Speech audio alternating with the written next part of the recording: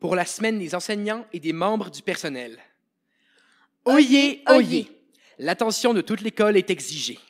Seul le silence est autorisé dans les classes, bureaux et corridors. Cessez toute activité et grandes vos oreilles vous ouvrirez.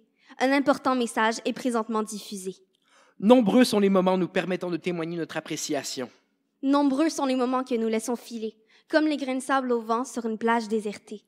En cette semaine de la reconnaissance envers le personnel de l'école, Nous, nous, élèves de l'école André Laurando, prenons cet instant maintenant, en dépit des dérangements, pour témoigner notre appréciation de tout ce que vous faites au sein de notre école.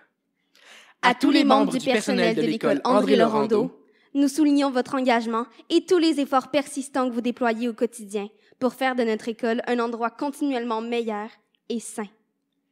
Élèves d'André Laurando, unissons nos voix et remercions à l'instant, mais aussi toute l'année durant, nos vaillants concierges, nos habiles techniciens et techniciennes, nos courageux éducateurs et éducatrices, nos valeureux enseignants et valeureuses enseignantes, nos infatigables agents de bureau et secrétaires, notre inébranlable équipe de direction, notre dévouée équipe de professionnels, notre indispensable personnel de soutien, nos minutieux surveillants et minutieuses surveillantes, les vigilantes madames de la cafétéria, ainsi que tous ceux et celles que nous côtoyons de près ou de loin et qui font eux aussi la différence dans notre quotidien.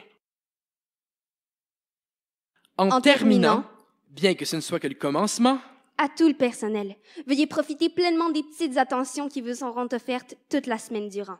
bien que vous méritiez d'en recevoir à tous les instants. Merci. Merci. Merci. La diffusion de ce message étant maintenant terminée, À vos occupations, vous tous pouvez retourner. Merci de votre attention.